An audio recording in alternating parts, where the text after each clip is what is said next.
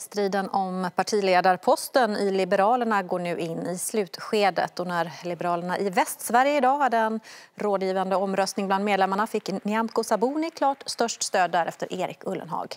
På söndag ska styrelserna i Västsverige och Skåne besluta vem de rekommenderar sina ombud att rösta på. Men på landsmötet den 28 juni är omröstningen hemlig så ombuden kan i princip ändå rösta som de vill.